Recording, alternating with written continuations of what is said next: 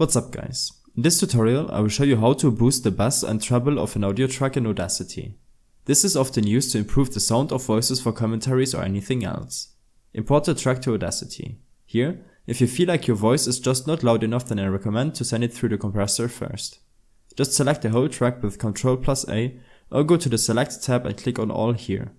Now go to the Effects tab and select Compressor.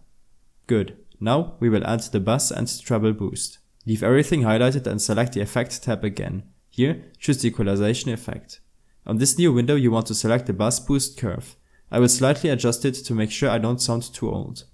Now that this is done we will open up the equalizer again and choose the treble boost. I will lower this one too to 6 decibels. Now your track will look a little bit like this. Very loud and a bit unclear. To revert this, but keep the effects, we will have to normalize the track by going to the effects tab for the last time and selecting normalize.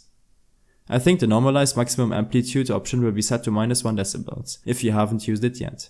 I use minus 3, which works best with the use of the effects and the loudness of my voice. To revert the changes you made, use the undo shortcut Ctrl plus C. I hope this helped you out. Leave a comment if you have any questions and see you in the next one.